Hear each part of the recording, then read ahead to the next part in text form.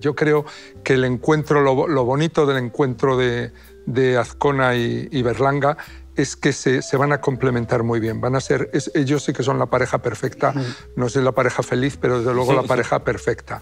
Y, entonces la comedia se hace mayor de edad.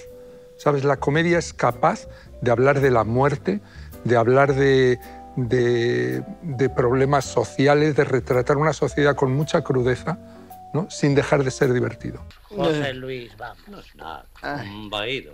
Ah, ah, no. Padre, padre. Vamos, José Luis, no hay un escándalo. No.